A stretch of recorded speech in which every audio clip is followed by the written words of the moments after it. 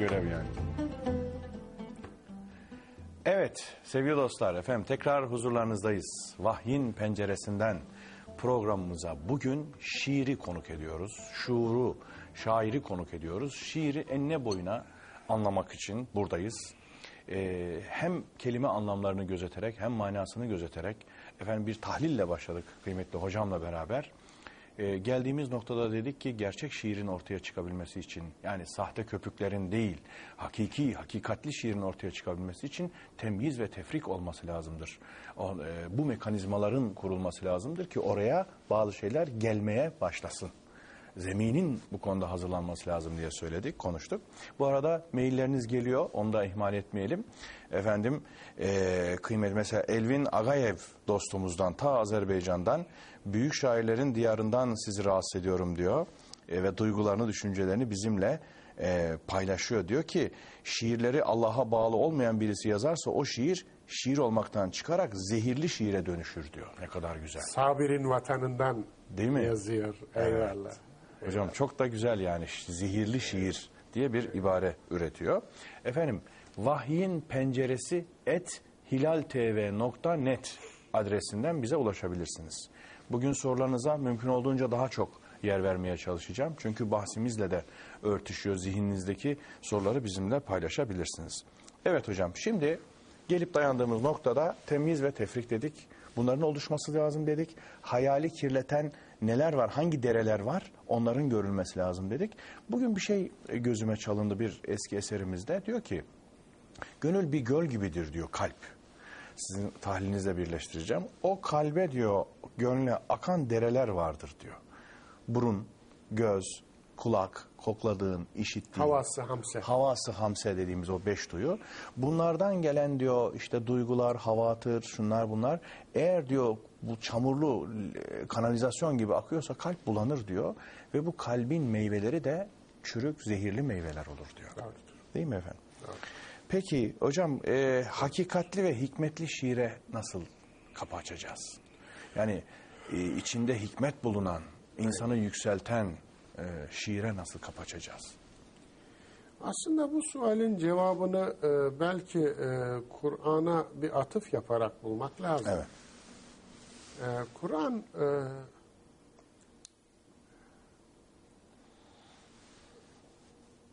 Allah Resulü'nü kastederek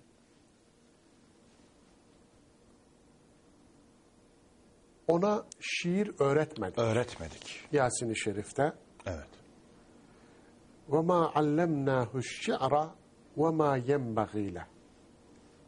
İn huve illa zikrun ve Kur'anun mubin. Ona biz şiir öğretmedik. Bu ona gerekmez de. Evet. Lüzum da etmez. Lüzumu da yoktu. Şiir öğrenmesinin. Ama asıl sır sualinizle alakalı olan ayetin devamındaki ayet. Hmm. İn huve illa zikrun. O huve Kur'an, vahiy, zikirdir. Zikrun ve Kur'anun mubin. Ve apaçık Kur'an'dır. Evet. Yani buradaki Kur'an aslında isim değil, sıfattır. Sıfat. Dolayısıyla ap açık hitaptır. Hitap. Hmm. Evet. Şimdi iki unsur var burada. Bu mubin zikr. Zikr. İn huve illa zikrun. Zikr, mubin. Bu ikisi üzerinden cevaplayacağım. Zikr aslında hatırlamak demek. Zakira hatırlamamıza yarayan iç duyumuz. Kuvve-i zakira. Evet, kuvve-i zakira hat, hatıralarımızın bulunduğu duyu. Duygu biçimi. İşte zikirde hatırlamak.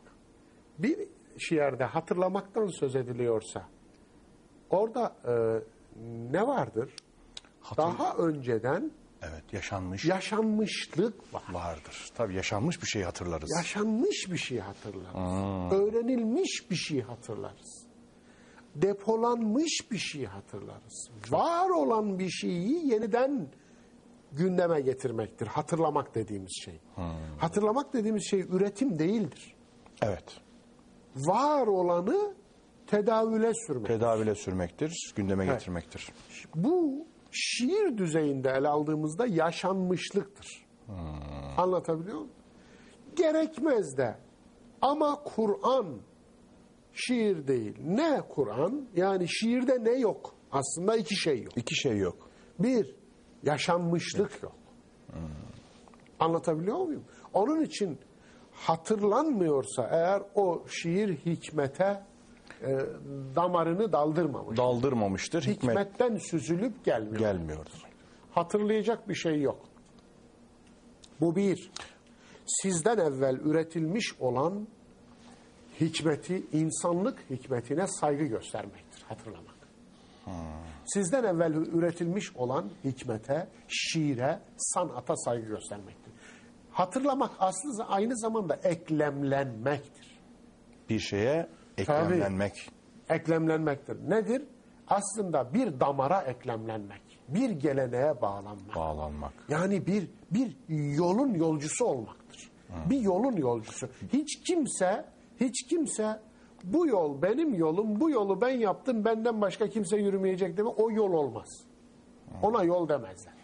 Burada siz özgünlük meselesine şiirdeki de çok ilginç bir açılım aslında sağlamış oluyorsunuz. O, o zıpçılık, o özgürlük Evet. değil. Yani özgünlük var olan bir yola tabi Evet. olmak, Aynen. eskiyi yeniden söylemek tabir yerindeyse. Kendi diliyle söylemek. Kendi diliyle. Kendi şimdi ve buradasından söylemek. Yoksa sıfırdan bir şey icat etmek manasında öyle. değil. Ay- aynen öyle. O onun için olmuyor zaten. Özgün. Reddi miras üzerine oturuyor şair olduğunu iddia eden müteşair ve kendisinden önce insanlıkla yaşıt olan bu damarın kendisinden önceki kısmını reddediyor veya reddetmiş gibi yapıyor. Böyle bir şiir olmaz. Modern şiir niye tıkandı? Evet. Modern şi- şiiri tıkayan şey budur. Red. E, aynen öyle. Servet-i Fünun'un problemi buydu. İkinci yeninin problemi bu. Üçüncü, dördüncü neyse yenilerinde problemi bu. Problem bu. Çünkü Evet. kendisini müstakil egosuyla beraber Eyvallah. takdim etmek istiyor. Kendi egosunu takdis ediyor ve başkaları nezdinde de o reddi miras ederek farklılaşmaya çalışıyor. Yani kendi egosunu merkeze aldığı için kendisini sunacağı için karşı tarafa öbür tarafa nispet edildiğinde çünkü onunla bir bağ kurulacak. Kendi egosu tamamen ön plana çıkmayacak. Eyvallah. O özgünlük hastalığının altında böyle bir şey var. Siz Çok çok, doğru. ilginç bir açılım getirdiniz. Zikir meselesiyle. Çok doğru. Yani şiir kibir oluyor. Kibir. Evet. Oysa ki şiir mahviyettir. Şiir kibir değildir. Şiir mahviyettir. Şiir sahneye çıkmak değildir. Şiir sahneyi yıkmaktır. Çok güzel. Evet. Şiir sahneye Yık- çıkmak değildir. evet. Şiir sahneyi yıkmaktır. Tarihin büyük şairlerine bakın. Sahneyi yıktıkları için büyük şair olmuşlar. Çünkü şuur erbabı. Aynen öyle. Şöyle sayın bir. Sayın bir gelsin. Efendim rubaiyatın sahibini sayın. Evet. Söyleyin. Mevlana- Efendim, Mevlana, Ömer Hayyam'ı, Ömer Hayyam. Mevlana'yı sayın. Efendim Maarri'yi sayın. Ebu Lala el-Maarri. Evet El Maarri'yi sayın. Mütenebbi'yi sayın. Yani peygambere benzetilmiş. Mütenebbi denmiş. Evet. Yani peygamberimsi adeta. Söylediği şiirin damarına bakmışlar. Yani sanki vahyin süzülüp geldiği damardan, Damardan. bir şeyler akıyor içinde. Kab bin Zuhayr'i Efendim, hatırlayın. yani da- daha, daha geriye gidebiliriz. İnsanlık tarihine gidebiliriz. Eski Yunan'a gidebiliriz. Ondan da geriye gidebiliriz. Dolayısıyla şiir hakikaten şiirin tarihi e, felsefenin tarihinden eskidir. Evet. Niye şiirin tarihi felsefeden eskidir? Ya bu, bu, bu Çok mü- mühim. mühim bir Çok soru. mühim. Bu çok mühim bir soru. Evet. Çünkü şiirin çıktığı yer insanda felsefenin çıktığı yerden daha kadim bir yer. Kadimdir. Kalp. Evet. Yani e, şey de buradan tuttu zaten. Heidegger de buradan tuttu. Efendim Heidegger işte Heidegger varoluşçuluğu. Varoluşçuluğu. Varlığı onun için e, mevcudun önüne vücudu koydu. Vücudu koydu. Onu keşfetti ve ona dönmeye çağırdı. Ve hatta sapmayı Yunan felsefesinden felsefesine başladı. başlıyor. Çünkü hep mevcut üzerine yoğunlaştılar. ki. Ama vücudu ihmal ettiler. Vitrine yoğunlaştılar. Görünene yoğunlaştılar. Vizyona yoğunlaştılar. Onun için Hölderlin'i niye keşfetti? Tabii. Hölderlin'i o keşfetmeseydi Hölderlin kimdi ki? Kimdi? Unutulmuş bir Kendi şairdi. halinde deli bir adamdı Aynen yani öyle. Yani Hölderlin'in efendim Kaşifi Hölderlin'den daha Daha e, meşhur, Meşhur. daha oturaklı. iki cilt e, Hölderlin şiiri şerhi var. Biliyorum. Heidegger'in malum. Biliyorum. Evet. Ve müthiş. Şer şiirde müthiş. Müthiş. Evet. Yani şa e, şari e, şairden, Şairden daha- önde. Efendim. Daha- Yani e, o e, kadim olmasının sebebi o. Onun için e, oraya geri döneyim. E, vitrini vitrinde olmak değil, vitrini yıkmaktır. Şov yapan şiir var tabiri yerindeyse onlar tırnak içinde bir de sahneyi yıkan şiir var. Eyvallah. Oo. Evet. Yani Şiir gerçeği o. bu noktadan ele aldığımızda günümüzdeki şiirin ölmesinin sebebi e, kendini şair zannedenlerdir. Ve yine e, meselenin çıktığı noktaya gidelim, ayete dönelim. Tabii, lütfen. Efendim. Çünkü orada iki şey söylediniz. Biri zikirdi, Ve ma diğeri allemnahu şira ve ma yenbagî leh. in huve illa zikrun. Biri zikr. Hatırlama. Evet, hatırlama. o zikrin içine ne girer dedik? Zikrin içine geleneği girer. Bu işin damarı girer. bir geleneğe Yani- eklemlenmek de girer dedik. öyle. Bir de var olan yaşanmışlığı hatırlamaktır Evet. dedik. Yani reddi miras etmemektir. Şiir dediğiniz damar sizinle başlamış bir damar olamaz. Yani böyle bir şey diyorsanız sizden şair olmaz. Böyle bir şey diyen adamdan şair olmaz. Şiirin ruhuna aykırı. Aykırı. Şuurun ruhuna aykırı. Kendisiyle başladığını söyleyen bir adamla hiçbir şey başlamaz. Evet. Anlatabiliyor muyum? Hüdayi Nabit yeryüzünde herhangi bir değerin benimle başladı diyen adamla hiçbir şey başlamamıştır. Ondan da hiçbir şey olmaz. Efendim. Çünkü bu bu adam öncelikle emeğe saygısı yok. Emeğe saygı duymayana niye saygı duyuyor? bir de tabiri yerindeyse nesebi yok. Silsilesi Tabii yok. ki. Tabii ki. Yani Eyvallah. bir nesep Evet. insabınızın olması. Zikir olacak. Onun için mutlaka hatırlanmaya değer bir şey olacak. Hatırlanmaya değer şeyleri hatırlayacak. Hatırlanmaya değer olanları hatırlanmaya değer bulacak. Ve onlara değer verecek. Kendisi önceki emeklere değer verecek ki kendi emeğine de değer versin. Onun için biri bu. Zikr. İn huve illa zikrun ve Kur'anun mubin. İkincisi de apaçık. Gelin bakalım. Yani şiirle apaçıklığı nasıl bağdaştıracağız? Şiir dolaylı söylemektir. Şiir gücünü dolaylı söylemekten alır. Kinaya, istiare, Efendim. mecaz, imge. Fakat işte bu noktada bir durmak lazım. Biz dolaylı söylemenin, sanatlı söylemenin yerine aslında Mübin. hiçbir şeyi söylememeyi koyuyoruz. Anlatabiliyor muyum? Dolaylı söylemek mübin olmaya engel değildir. Anlatabiliyor muyum? Eğer öyle olsaydı Kur'an söz sanatlarını kullanmazdı. Evet. Mecazın şahikası Kur'an'da var. İstiarenin şahikası Kur'an'da var. Anlatabiliyor muyum? kinayenin alası. Kinayenin alası Kur'an'da var. Teşbihin alası Kur'an'da var. Yani ne kadar söz sanatı geliyorsa aklınıza Hepsi. hepsi Kur'an'da en güzeliyle mevcut. O zaman Kur'an eğer bu manada söz sanatlarını istihdam etmeseydi matematik kitabına benzerdi. İki kere iki dört der giderdiniz ve o zaman üzerinde düşünmeye gerek olmazdı. Efela yetedebberunel Kur'an da boşa çıkardı. Onlar hiç Kur'an üzerinde derinliğine düşünmüyorlar mı? Derinliğine ne düşüneceğim? Anlatabiliyor muyum? Eğer derinliğine düşünecek İki şey kere yoksa. ikinin dört derinliğine ne, ne bakacağım? Ne, ne derinliği Yok ki. olacak? Bu ortada. Dolayısıyla Dümdüz bir şey. ama öyle değil işte. Hala 1400 yıldan beri üzerinde konuşuluyor, tefsirler yazılıyor, tüketilebilmiş değil, tüketilmesi de mümkün değil. Evet. Niye? Çünkü Kur'an'daki şiiriyet, şiiri fersah fersah aşan bir şiiriyet. Buna rağmen mubin. Mubin iki manaya birden gelir. Hem lazım hem müteaddidir.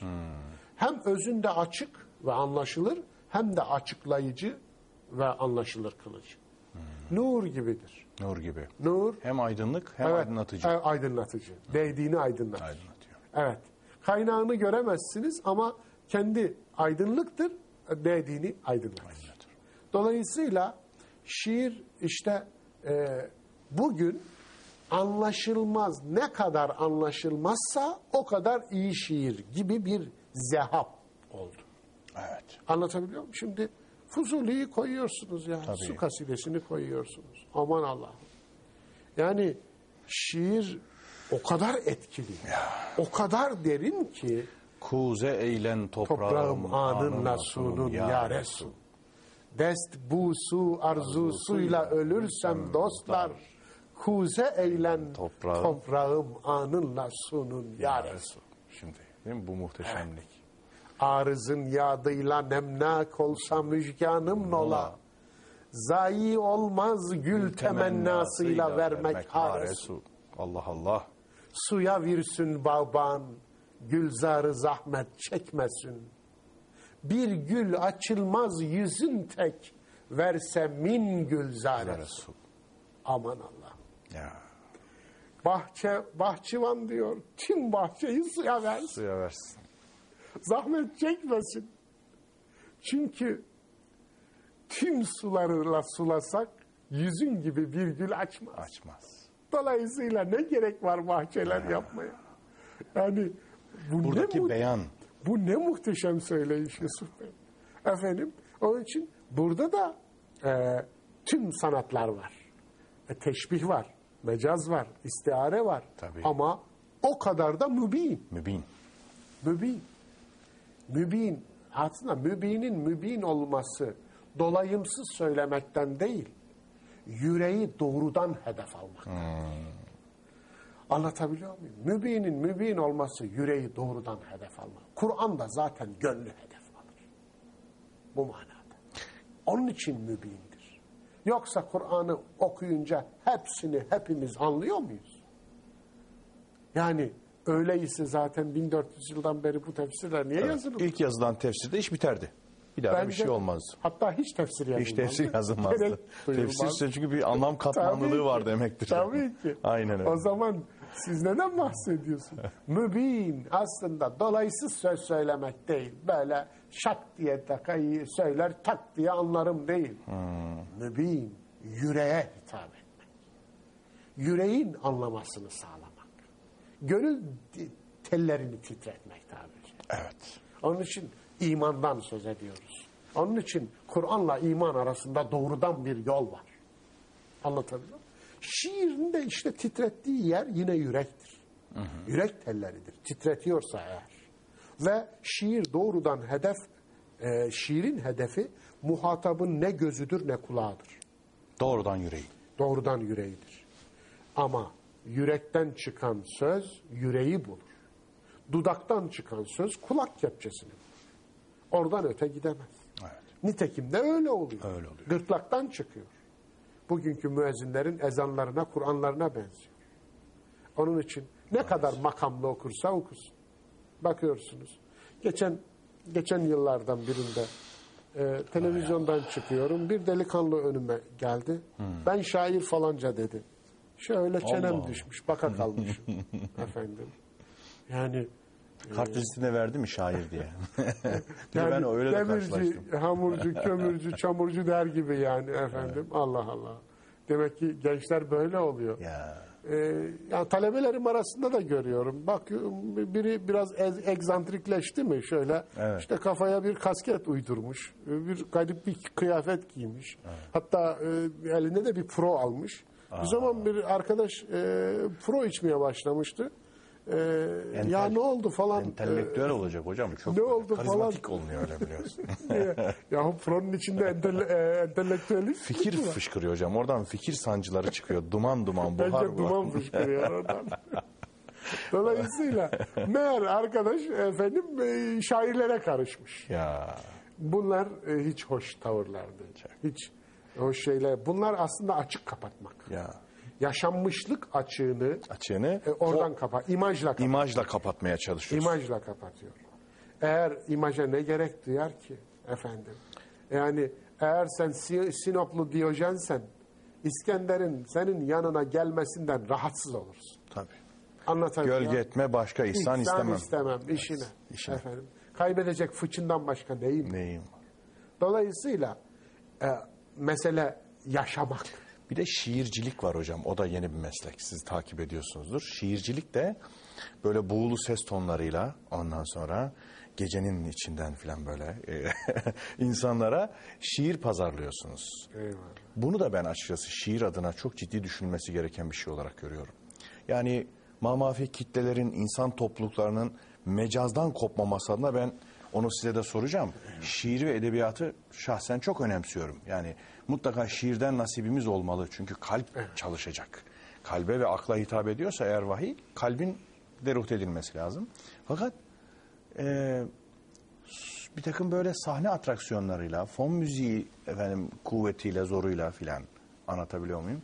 Ee, yani fon müziği kullanılır, kullanılmaz diye bir şey yok. Fakat şiircilik, şiir alınıp satılan bir e, pazar oluştuğu da kanaatindeyim.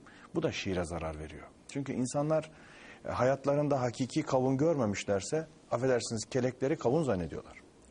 Şiir endüstrisinden belki söz edilebilir. Şiir efendim e, pazarından. Pazar. Aslında e, şiirin Üretme yok, tüketme var yani. popülerleşmesinden ben rahatsız olmuyorum şahsen. Evet. Yani insanlar e, hiç olmazsa e, içlerinin e, bir taraflarıyla e, bağlantı kursunlar. E, estetikten kopmasınlar. Sanattan kopmasınlar. E, bu güzel bir şey. Yani avama sanatı götürmek hoş bir şey. Evet. Güzel bir şey. Evet. Ama adını doğru koymak lazım. Yani e, bunu olduğundan büyük göstermemek lazım. Neyse o. Yani bir yerde endüstriyel bir iş e, Amenna. yapılıyor. İşte götürülen ürün kelek olunca affedersiniz o sorun. Çünkü insanlar Evet. şiir diye onu bu sefer bellemeye başlıyorlar. Şiir denilen budur diyor ona hakiki şiiri gö Ahmet Haşim'den bir şiir okuduğun zaman ya çok ağır diyor bu hiçbir şey anlamadım ki filan diyor. Yani öbür türlü işte ayaklarımı yerde sürüdüm, kafamı duvara çarptım, şunu yaptım, bunu yaptım gibi günübirlik konuşmalar şiir gibi pazarlanıyor. Benim itirazım buna. Yani derinlik yok, kalite yok, ondan sonra muazene yok. Onun arkasında yine bence yaşanmışlık problemi yatıyor. Aslında gerçek şiir birileri okusun diye yazılmaz. Evet. Gerçek şiir yazılmaz. Söylenir. Gerçek şiir söylenir. Ee, aşk ağlatır, dert söyletir derler ya. Gerçek şiir e, tabir caizse e, şairin Gelir. şairin ağzı bacanın şey e, e, fırının bacasına benzer. Anlatabiliyor muyum? Ateş varsa duman İçinde çıkar. ateş yanıyordur. Dumanını nereye hapsedeceksin? İçinde ateş yanıyorsa dumanı hapsedecek yeriniz yoktur. Mutlaka duman çıkacak bir yer bulun. Evet. Eğer efendim içinde yanan ateşin dumanıysa şiir, o dumanım görünsün diye tütmez ki. Tütmez. Tüter. Sadece Anlat, tüter. sadece tüter. Kimin görüp kimin görmediği, kimin okuyup kimin okumadığı da umurunda bile değil. Evet. Anlatabiliyor muyum? Bu manada gerçek şiir zaten kendini hemen orada belli eder. Yani beni gör diye dayatmaz Dayat. ama onu arayanlar mutlaka onu görürler. Kokusunu alırlar. Kokusunu alırlar. Evet. Eğer siz şiirin mecnunu iseniz şiir de sizin Leyla'nız olur. Siz onu ararsanız o da sizi arar. Böyle şiirler çok nadir. Böyle şairler de nadir. Yani Yunus'u Yunus yapan buydu. Evet. Behey Yunus sözün söyleme derler. Ya ben öleyim mi söylemeyince? Bir daha söyleyeyim. Evet. Lütfen. Behey Yunus sözün Söyleme. söyleme derler. Ya ben öleyim mi söylemeyince? Söylemeyince hiç öldünüz mü? Şair odur işte. Odur. Söylemeyince ölecek adam. Çatlayacak böyle. Şiir odur. Söylenmeyince ölür. Beni söyle diye. Öyle, öylesine çağrı yapar ki onu söylemezseniz siz ölürsünüz. Onu söyleyince o siz ölürsünüz, o yaşar. Yani o ölümsüzleşir. Evet. İşte böyle. Dolayısıyla e, söylemezsem ölürüm diyen adamlar söylerse şiir, şiir olur.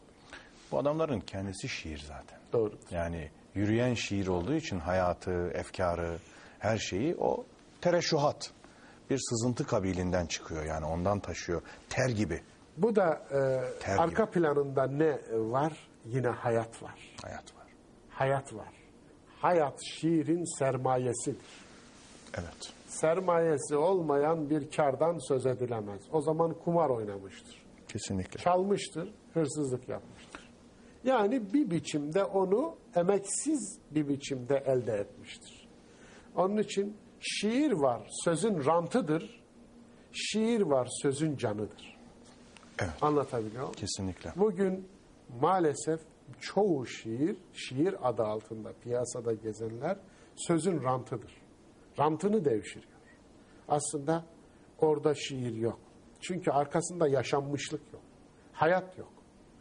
Eğer hayat olsa zaten o şiir kendi mecraını bulur, müşterisini bulur, sahibini bulur. Mutlaka okuyanını bulur. Hayatın içinden süzülüp gelenler hayatın içine akarlar. Evet. Yine başka hayatlar onunla hayat bulurlar. Mesela ben böyle şiiri efendim eee, Pakistan'ın o Hmm. Muhammed büyük İkbal. şairi Muh- Muhammed İkbal'de buluyor. Ahmet Şevki'nin bazı şiirleri öyledir mesela. E, Yüzyılımızın Sultanı Şuara Ahmet Şevki'nin bazı şiirleri gerçekten öyledir. Üstadın bazı şiirleri öyledir. Arkasında bir fikir çilesi, bir yaşanmışlık vardır. Öyle bir çile çekilmiştir ki o şiire adeta parlatmıştır. O şiiri kömürken elmas etmiştir. Kılıca saykal. Ay, aynen öyle. Yani işte zindandan Mehmet'e mektup yapan nedir? Arkasında bir zindan yoksa zindandan Mehmet'e mektup şiir. Bu böyle birisine bir şiir olmazdı. Masa başı zindan şiiri olmaz. Olmaz işte. Olmaz. Evet. Zindanı görmeden zindandan mektup Mehmet'e mektubu yazamazsınız. Evet. Tabii siz Kur'an ikazıyla baktığınız için yaşanmamışlığı fevkalade önemsiyorsunuz. Onu bir kriter olarak İki, iki, İki- taneydi. iki taneydi. Biri, Biri zikr, zikir, biri biri, beyan. de e, efendim e, mübin. mübin oluş. Mübin. Mübin. Mübin Aydın oluş. ve aydınlatıcı. Aynen öyle. Yani bu noktada ne kadar kapalı o kadar iyi şiir anlayışı işte şiiri öldüren bir başka zihniyet oldu. Evet. Yani şeyin sevmediğim bir adamın ismini zikretmeyeceğim. Bir filozofun bir sözü var. Diyor ki bir kısım şairleri diyor daha doğrusu şairleri sevmiyorum diyor. Çünkü sularını bulandırıyorlar derin görünmesi için. Güzel bir şey. Yani suyu bulandırıyor ki Eyvallah. derin görünsün diye. Eyvallah. Halbuki gerçekten derinsen böyle bir şeye suniliğe Aynen ihtiyacın öyle. yoktur. A- Aynen öyle. Ben Karacaoğlan'ın o söyleyişindeki sadeliğin arkasında ne kadar muhteşem bir derinlik var. Onu ona hayran olmamak mümkün mü? Adam dağda taşta söylemiş yani. Öyle ama yanık işte Bakıyorsunuz ciğer kokusu sa- geliyor işte. Yani tabii Ciğer e, kokusu Yunus için aynısı geçerli değil mi? Efendim o sadeliğin arkasındaki şu ihtişama bakar mısınız biraz önce söylediğimiz beyitte olduğu gibi? Onun için bunu tabii görüyoruz. Bunu fark edenler aslında şiirlerinin yaşamasını sağlayan şairlerdir. Mesela bizim mahallenin dışında olmasına rağmen e, gerçek şiirin kaynağıyla hiç de barışık olmamasına rağmen Atilla Usta, Atilla, Atilla İlhan, İlhan. bunu fark ettiği için şiirine öyle bir damar kattı. Şiirini o damara eklemledi, eklemlediği için de kendisi karlı çıktı. Evet. Atilla İlhan şiiri kendi cinsleri, türleri içinde İçerisinde farklı. farklı. Fark da buradan kaynaklanır. Evet. Reddi miras yapmamıştır, bir damardan beslenmiştir. Tabii.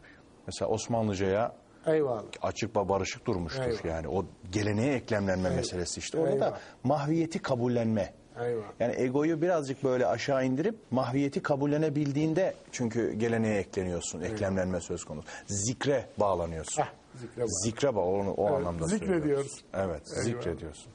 Hocam şimdi iki tür sancıyla karşı karşıyayız. Ben onu zihnimizi netleştirelim istiyorum. Bir, e, Mevlana'nın çok güzel bir sözü var. Diyor ki, karnında taşıdığın diyor eğer İsa ise ve onun sancısını çekiyorsan senin doğuracağın İsa'dır diyor Meryem.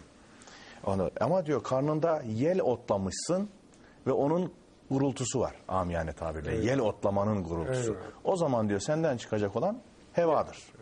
Başka bir şey değil. Şimdi e, bir kısım mesela filozoflar var çok ciddi sancılar çekiyorlar. Örneğin Nietzsche. Bir sancı insanı, yaşanmışlık var vesaire. Ama ortaya çıkan ürün e, bazen insanların ifsadına yol açıyor. Ciddi tahribat yapıyor, çok zarar veriyor ondan sonra. Ama bir yanda da bir sancı insanı başka birisi var diyelim. Bizim İslam işte e, suhre verdiği İbn-i seveni var, sevmeyen var. Ya Gazali'nin buhranını hatırlayalım. Dili tutuluyor. O, o acıyı, sancıyı nasıl yaşadıysa Yemekten içmekten kesiliyor. kesiliyor. Değil mi efendim? Şimdi bu ikisini ayırt etmek gibi şiirde de böyle bir bunalım damarı var bir yandan. Yani Baudelaire'in az buhran yaşadığını, yaşamadığını söyleyemeyiz. Ama şunu söyle. İşte hangi buhran, hangi sancı? Değil miyiz?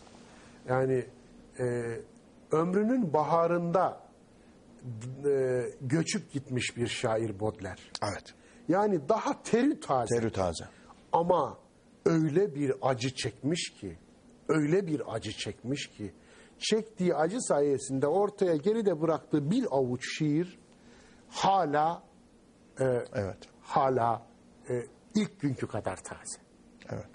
E, Nietzsche aslında Yani acının niteliği de önemli değil mi? aynı diye öncelikle sormak. emek Önce ve elleyse lil insani illa illa ma ma sa. Ye- Öbürü itali kalıyor. E, önce emek. Önce emek. Nietzsche efendim e, Allahsız bir filozoftu.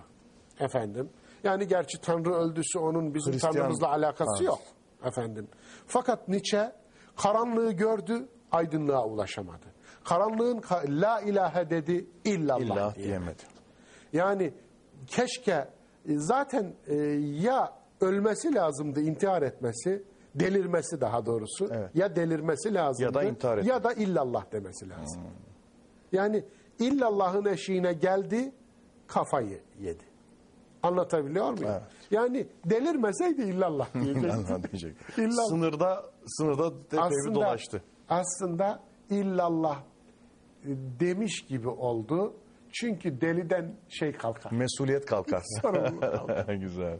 Teklif kalkar. Eyvah. La ilahe dedi. Rabbimiz illallah herhalde diyemeyecekti ki e, aklını aldı. Yani o çile, o, o ağır acılar ona onu yaşattı. Aynı şey e, Van Gogh için geçerli değil. Tabii. Va- e, Ben Amsterdam'da Van Gogh'un tablolarının e, önünde büyülendim. Evet. E, hakikaten çıkamadım salondan. Efendim. Muhayyilenin O- zirvelerini görüyorsunuz değil mi o hocam? sarının ihtişamını ben orada gördüm. Anlatabiliyor muyum? Dünyanın en büyük çölünü ben Van Gogh'un tablolarında gördüm. Evet. Ve e, düşünün e, bir kötü kadına kulağını kesip verdiği söylenir bunu. Efendim. Kriz esnasında. E, ama dehşet bir şey bu. Anlatabiliyor muyum? Adam bedel ödüyor. Kocaman bir bedel ödüyor. Yani aynı şey Hölderlin için de geçerli. Tabii. Efendim. E, yani Nietzsche'den bahsettiniz. E, dolayısıyla öncelikle e, çektiği çilenin niteliği tali kalıyor. Çektiği çilenin kendisi emek oluyor. Kendisi emek oluyor. Allah emeğe e, mutlaka karşılığını Biz de verir. emeği bir önceleyelim, emeğe saygı Aynen duyalım, öyle. sonra tahlil yapalım ama, diyorsunuz. Ama emeğin e, bir dünyada karşılığı var, bir de ukbaya dönük karşılığı var. Bu emeklerin ahirette karşılığı yok. Çünkü ahirette bekleme, beklemiyor. Yani kimse yatırmadığı hesaptan para çekemez. Ahirete yatırmamış ki ahiretten çeksin. Onun için onlarınki dünyada alın sohbetimizin içine geldi kuruldu. Tabii. Alın Bize mevzu oldu. Mevzu bile. oldu. Şöyle- Niye? Vahyin penceresinde ne işi var Nietzsche'nin? Ne işi var Hölderlin? Ne işi var Van Gogh'un? Ha, emek işte. Emeğe saygı. Eme, yani Allah onların emeğine e, böyle değer katıyor ve bizi dünyada andırıyor. Evet. Ama e, hesaba para yatırsalar da ahiretten çekeceklerdi. Fakat işte ondan sonra ikiye ayırıyoruz. E, yani rüzgar, e, yel doğuranlar, Yel İsa, oklayanlar, İsa doğuranlar. doğuranlar. Efendim, İsa'ya hamile kalmışsanız İsa doğurursunuz. Rahminizde neyi taşıyorsanız onu doğurursunuz. Ondan sonrası öyle. Ama rahminizde neyi taşıyor olursanız olun, sancı çekmişseniz... Hamilesiyseniz- o, evet, o sancı bir emektir. Her neyse, taş doğurun, o taş bile efendim yani böbrek taşı bile o manada sıradan bir taş değildir. Anlatabiliyor muyum? Dolayısıyla emek verin yeter ki. Emeğiniz ya burada ya orada değerlendirilir. Ondan sonra tabii ayırmak lazım. Yine temyiz lazım. Ee, şiirin e, ukbaya dönük olanı, insanın imanına hitap edeni, insanın e, ruhuna hitap, Hitap edeni, ulvi bir, olanı, bir de süfli olanı, olanı var. Efendim, var. E, o da hevasına hitap eder. Evet. Hevasına hitap edeni insanın e, hevasını galeyana getirir. Tabii. Unutmayalım efendim. Yani o da bir tesir yapar insanda. Onun da bir etkisi mı? karşıdakinde. Tabii. Bir Onun- karşılığı var çünkü. Aynen öyle. İnsanda heva var, öbüründe de var. Aynen öyle. E, bugün e, savaş meydanında e, bir adama öyle bir efendim şiir çekseniz ki o, o haksız yerde olsa, zalimlerin tarafında olsa o ona güç verir. O ona güç verir ve o güçle daha büyük zulüm işler. Onun daha büyük zulüm işlemesi ayrı bir şey. Ama şiirin ona güç vermesi de bir vaka. Amenna. Anlatabiliyor muyum? Evet, bir vaka. O da bir vaka. Onun için bu manada biz şiiri de bir ibadet olarak görürüz. Çünkü şiir şairin amelidir. Evet. Amelidir. Tıpkı fiili ameller gibi kalbi ameller, de vardır. Kalbin ameli. Anlatabiliyor muyum? Niyet kalbin amelidir. İman kalbin amelidir. İhsan kalbin amelidir. İrfan kalbin amelidir. Bu manada şiir de şairin amelidir. Amelidir. Ameller üçe ayrılır. Ameli sadık, ameli fasık, Fasık, ameli, ameli kazip. Kazım. Evet. Efendim. Ameli sadık, efendim ameli salih daha doğrusu. E, salih amel efendim eğer şiir salih şiirse salih amel olur. Evet. Anlatabiliyor muyum? Yani şairinin salih amel olur, ibadet olur. Bunun için tabii kör dünyanın göbeğine hak yol İslam yazacağız bu şiir değil. Değil. Ya bundan kastetmiyoruz. Bunu söylemiyoruz. Bağıran şiir şiir değil. Slogan yani böyle Yani bağıran, slogan ayrı, tepinen, propaganda yırtılan. ayrıdır. Yani şiir propaganda yapamaz. Şiirin sırtına ağır gelir. Araya e, yük vuranlar eşekten bal umarlar, umarlar Evet, demiş. çok çok güzel bir Efendim. söz. Çok güzel. Onun için şiir Arının arıdır. kanatlarına yük yüklerseniz Şiir eşeğe arıdır. Şiire eşek muamelesi yapmamak lazım. Yani şiirin kanatlarına ağır gelir öyle manifesto gibi kullanmak. Ama ama bu şu manaya gelmez. Şiir şiir için vardır. Evet. Yani bir kakafoni, bir efendim Hiçbir hedefi, patoloji. gayesi yok. Efendim Barış yok abi. böyle bir şey. Efendim kendi kendini tatmin çabası. Aynen öyle. Aynen öyle. Zihni tatmin. Dolayısıyla ya gayetsiz, amaçsız şey mi olur? Amel mi olur? Eylem mi olur? Şiir şiir için olamaz. Sanat sanat için olamaz. Efendim, mutlaka daha üst, daha ulvi bir gayesi olur. Bunu söyleyenler de zaten doğru söylemiyorlar. Ha, Daha arkasını kazıyın başka bir şey çıkar. En azından hevaları çıkar, hevesleri çıkar. Onun için daha yüksek bir gayesi olur, daha ulvi bir gayesi olur. Fakat efendim şiirin e, şiiriyetini şiirin kendisine bakarak Biz tayin edebiliriz. e, tayin edebilir. Yani tabirlerindeyse şöyle bir şey zihnimde gelip gelip netleşiyor. Ee, hani oluklar çift birinden nur akar birinden kir diyor e, Necip Fazıl. Ee, rahmani bir damar yürüyor. Düşüncede de şiirde de şeytani evhama ve vesveseye dayanan bir damar Tabii. yürüyor. Şiirde de düşüncede de. Zaten Kur'an demiyor mu sanırım En'am suresinde olacak. Şeytanlar dostlarına vahyeder diyor. Aynen kelime bu. Allah Allah. Tabii tabii tabii. Şeytanlar dostlarına, Dostlarına vahyeder. vahyeder. Eyvallah. Yani şeytanın da vahyi varmış. Ve subhanallah. Dolayısıyla sadece Rahman'ın vahyi yokmuş. Hmm. Şeytanın da vahyi varmış. Onun için bu burada aslında en iyi bozulursa en kötü olur. Yani yine en. En. En. En var ama. en var. Ama en iyi ama en en kötü. kötü. Efendim en var yalnız. Dolayısıyla burada şeytanın vahyine muhatap olan eh ne olacak? Fi kulli vadi- vadin yehimun. Yehimun. Her vadide efendim evhamlarının Evham. peşine düşer ve evhamlarını hem çoğaltır hem de başkalarına pazarlar. Ya o bir bula, hastalık ki bulaştırılıyor Bulaştırıyor. da çünkü. Bulaştırılıyor. Patolojik acılardan, kişilik bozukluklarından, deliliklerden e, beslenen suni, günübirlik sancılardan yani ta- dürtüsel sancılardan beslenen bir şiir ve düşünce de olduğu ben kanaatindeyim. Çok Yani- bir- tam bir yerine e, temas ettiniz. Buyurun siz sözünüzü Estağfurullah. tamamlayın. Bir de ulvi sancılardan. Eyvallah. Göğün hamilesi diyorsunuz ya siz Yasin şiirinde. Göklerin hamilesi. Göğün hamilesi olmanın sancısını taşımaktan da ulvi düşünce, ulvi şiir çıkıyor. Öbür türlü adam sancılı. Yani ben sadece sancıyı bir kriter olarak hala kabullenemiyorum zihnimde. Çünkü sancılı fakat bir bakıyorsun pespaye sancılar. Hiçbir derinliği yok. Yani göğü delen sancılar değil. Öbür tarafa taşan sancılar değil. Böyle ne bileyim ben Bilinç üstünden değil, bilinç altından bilinç besleniyor. altından beslenen dürtülerden. Sürrehat. Evet. Adgâth-ı ahlam gibi. Tıpkı efendim kabus. Kabuslar gibi. Evet. Evet. Yani rüya var, rüyayı salihadır. Rüya var, kabus. Çünkü bunalımlı düşünürler görüyoruz hocam. Çok efkarlı. Ama düşüncesi ana o san- e, bunalımı beslendiği nokta şey bataklık. Oraya hortumlarını dayamış, oradan besleniyor.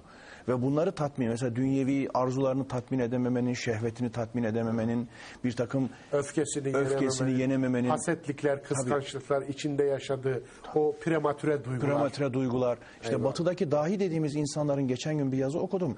Yüzde sekseni doksanı hasta.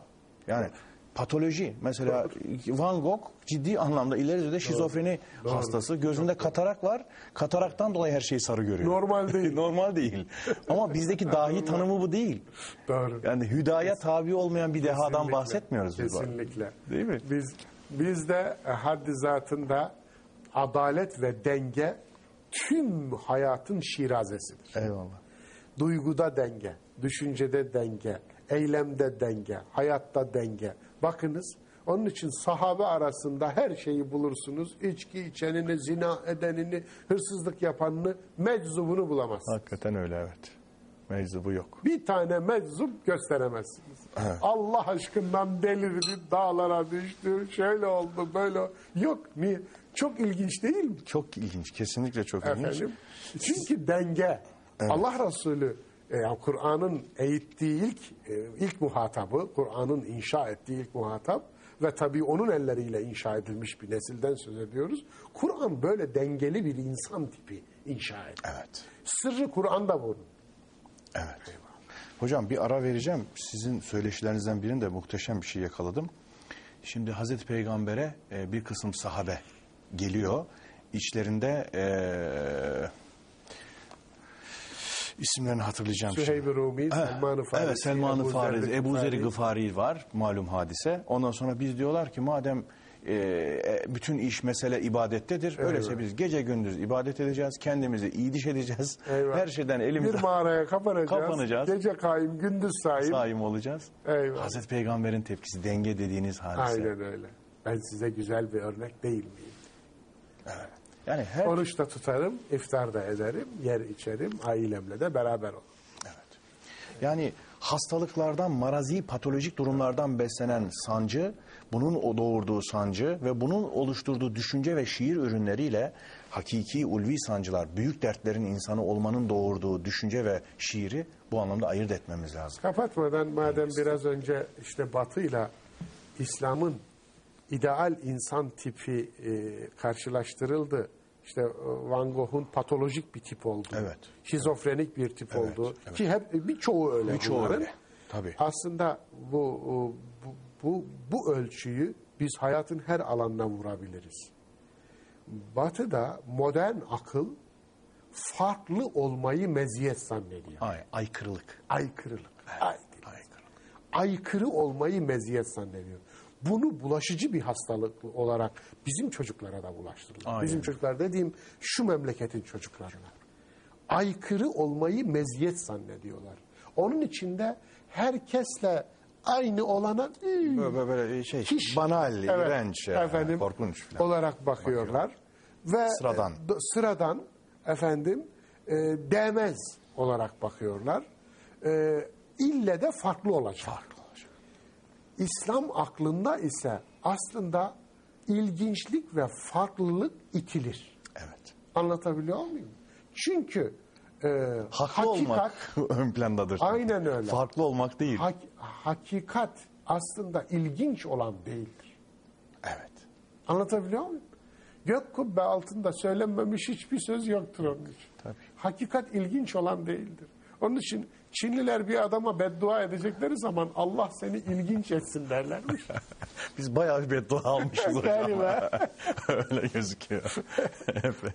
yani farklı olmak değil, haklı ve hakikatli Haklı olmak. Evet, hakta olmak. Hakta olmak. olmak değil. İlginçlik de bir müptelalığa yol açıyor. Aynen Hep özgünlük arayışı. Ondan sonra Kur'an'ı haşa sunuyorsunuz. O tatminsizliktir Yusuf Bey. Tatminsizliğe Zaten yol açıyor. böyle bir yola çıkan insanın duracağı hiçbir şey yoktur.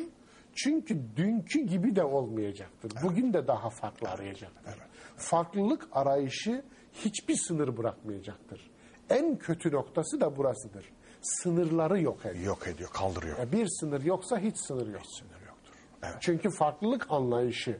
Yani onu da deneyim, deneyim, deneyim. Her şeyi deniyor. Ama bazı şeyler denenmez. Bazı şeyleri denediği zaman deneyecek insan kalmaz. O zaman zeka da zıvanadan çıkıyor, akıl da Doğru. zıvanadan çıkıyor. Zekaveti betra dediğimiz o. Her şeye tecessüslerini, sorgucunu uzatan ve her şeyi kendince böyle algılamaya ve ötesini aşmaya çalışan garip bir şey, halet ruhiye çıkıyor. Hocam son bir şey söyleyeyim, ondan ara vereyim. Sizi çok konuşturdum, biraz dinlendirmek istiyorum. Ee, bir vakitler ben denizde hani yolum az çok şiirden geçti, uğraşmıştım. Genç böyle bir heveskar delikanlıyken böyle şair dediğimiz ciddi yani kelli ferli bir abimize şiir kitaplar olan efendim biraz tanışmak için gittiğimde bana dedi ki sigara içiyor musun dedi böyle biraz baba yani bir edayla.